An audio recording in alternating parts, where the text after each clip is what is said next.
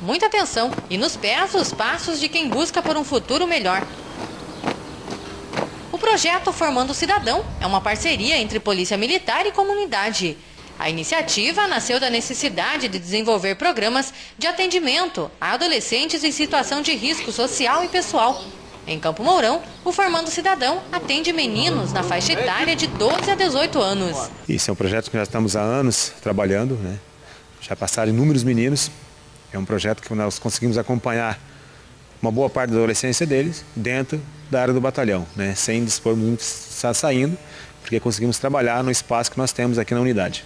Um dos objetivos do projeto é também conscientizar os adolescentes sobre os perigos do envolvimento com drogas e criminalidade, contribuindo para que tenham uma nova postura de vida e um futuro melhor. Que nós faz várias atividades, faz educação física, karatê, religião e passa o maior tempo só fazendo curso para não ficar nas ruas. Eu acho gostoso que aqui a gente pratica esportes, lazer e tudo mais aqui. Aqui é, a gente se diverte bastante.